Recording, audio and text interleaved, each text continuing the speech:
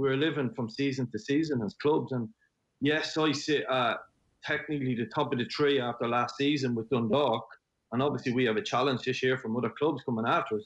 But I've come from clubs like Longford Town for many years where even as players, we had to fundraise for training. So I get it. I'm not sitting here saying we have to do this, we have to do that. We get it. But that's where we're at with League of Ireland. Um, whether we like it or not, it's the most participated sport in the country, but it's the most underfunded, um, whether we like it or not. And uh, until clubs have money, we can't go beyond October. Is this a chance for everybody to get together and kind of say, well, what should the league actually look like in the future? Or everybody seems to be at each other's throats a little bit at the moment. Maybe now is not the time to have those conversations. Yeah, I, don't think that's a fair reflection. I'm, I, am like the managers don't run football, uh, unfortunately. We don't run it. Uh, people above us run it. So a lot of managers would contact each other, and we all have a lot of the same sort of interest. Uh, for example, we've arranged to play uh, Derry City, which isn't that common where two teams in the same league would play each other. And we probably played one or two other Premier Division clubs. Uh, we've agreed to play a couple of others. But that's all around ourselves and Derry being ready for Europe. So there is there is people talking to each other. The meetings I don't think are as bad as what people think they are. But people have to fight their own corner. And as I as I go back to because it suits everyone in Ireland, go back to the Premiership. We were heading down the same road in the Premiership with the likes of Watford, Brighton, um, Villa, yeah. insisting that they weren't coming back if you were playing away from uh, home because it wasn't a fair reflection, and they were trying to protect themselves. So there's nothing wrong with us protecting ourselves. Um, you just wonder. You'd wonder is is can the FAI, can government uh, get the most participated sport in this country back up and running and meaningful running? By and by that ultimately it, means it needs money, and um, you know where is sport in this country? And, and that's a bigger debate for you guys. Would be better to do that. But where is sport? When you look at the new minister has been announced, sport is part of uh, a list of five or six different things, and, and sport as well is thrown in there. So the most we're, we're in a difficult situation, and um, it's not, but it's not as bad as people think. We're closer than people think. I feel. One last question. Why, why, what did Rovers actually want? Why, why is it in their interest to have a slightly shorter season? Surely they would want more games too. I, I don't know. To be honest with you, um, you, you, could argue, like, this is where we're, we're, I haven't been accused of being balanced at times. This is where it would be balanced. The one up, the, the, the what, what has ultimately been decided for now uh, means that all of the 13 games will be competitive, I feel.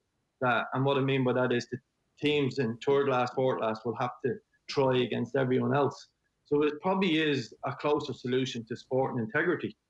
Um, and at least the season is finished and balanced. The, the, problem is, though, we probably have a couple of clubs, uh, and I don't want to name anyone in particular, who may come back under a different uh, a different guide than what they started the season with, and it may be a matter of a European spot being resolved by, say, third place in Europe, ourselves and are on level points, and it's a matter of who beat that bottom side by more goals than the other team. That's not, and and that can happen by accident over yeah. a long period of season. But we're at that. Well, we beat them seven 0 and you only beat them six 0 I don't know whether that's the fairest way to resolve a season. Um, and and there's a lot of stake for our clubs. European football is massive for. Eddie, just just on to finish up, what does happen next? And like it's pretty stark when you talk about 18 games in 18 months, and you think of somebody like Jack Byrne only playing that amount of games as the the actual damage it can have to the quality of the league because it felt like it was in a good place with those opening four or five matches, and you have Jordan Flores, wonder goal, and there's bigger crowds coming to pretty much every stadium, and the quality of football is going up all the time.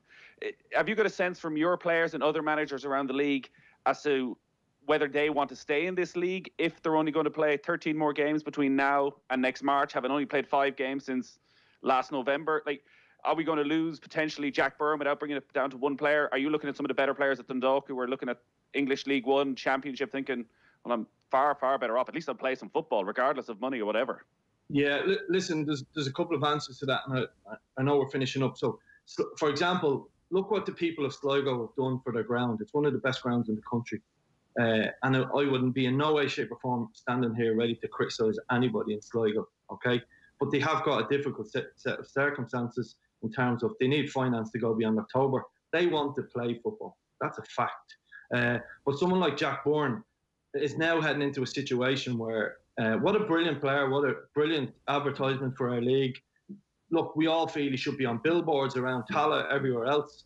Uh, as much as it killed me driving around Tallaght seeing him, it would be great that he was there. And vice versa, Pat should be on billboards in, in Dundalk. And, but these players uh, would play 18 games over an 18 period of their lives. Careers in football are so short. So if somebody came to me, we, we've couple of players out of contract at the end of the season, like any other club, and they, they would have to question where we stand um, because are we heading for another after the season finishes? Are we heading for another three months of people trying to argue about the, the league for next season? Because it looks like restructuring is about to happen. Um, so uh, to be honest with you, I fear, I fear for the players. Um, for someone like Gary Rogers, who you know, you know, think of Gary for argument's sake, who's who's 38 and uh, last couple of years of his career, he would say he played till 50, but that's Gary. But he's heading into a situation again, 18 games over uh, an 18 month period or there thereabouts. That's difficult for players, and um, that's not good. But I keep saying that we're not unique in this. I look at GAA county managers, even on your own show, complaining about different bits and pieces. The lockdown was easy. Restarting is obviously difficult, and um, but there is we are closer to playing than than people think. That's the only good thing.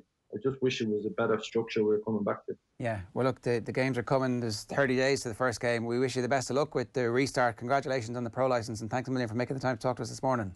Thank you, appreciate it. It's uh, Vinny Perth there giving us some thoughts on the situation in the League of Ireland. That is pretty much all we've got time for on the show this morning here.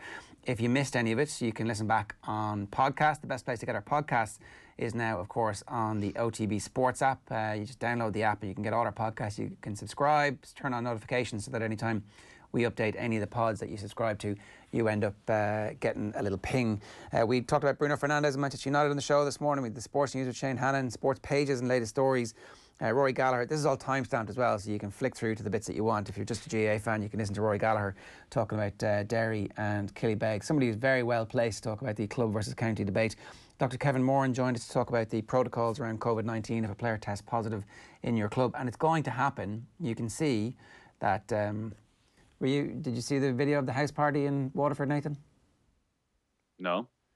Uh, 63 people, 64 people coming out of a house party broken up by the cops an, Right. Air, an Airbnb, it turned out. Oof. So they just went away for the weekend. Brought it from Dublin down to Waterford. Oh no, I presume these are these are locals. Uh, Okay. One of the tweets was they look very Waterford. Um, so Did they love their county? they did love their county. They love and and look, it is happening. You know, I mean, Uh, I We- think I would listen to. I would most definitely listen to that piece uh, because I think it'll be a bit of a shock to the system for a lot of club players that if you're playing against an opponent and they test positive, that you are going to have to isolate and stay away from work for well a couple of days at least. And I guess we need to say how quickly that contact tracing can get into place. But do we have I'd. I'd imagine a huge amount of players wouldn't have even thought of that. do we have a contact tracing app? No, we don't. What is it? Start of July.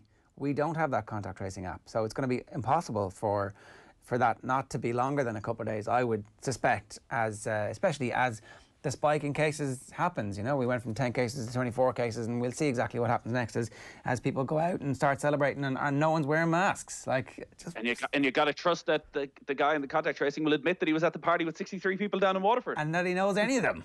Uh, yeah. So look, stick your masks on. Uh, uh, with Graham Hunter on talking about the future for Barcelona and the impact that La Liga has had on the general morale of the population in Spain. And Vinny Perth, always very thoughtful, uh, a great guest as well. I want to tell you about what's on OTB Sports Radio today. Chris Waddle Gold coming your way at one o'clock. A brilliant Chris Waddle feature-length interview.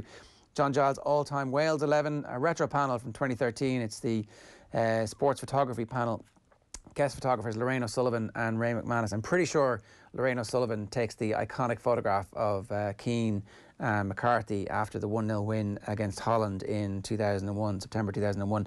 And then uh, gold today from 6 o'clock. Paul McGrath talking about the Jack Charlton era. So just head over to the radio section on the OTB Sports app, and all that goodness is yours free, gratis, and for nothing.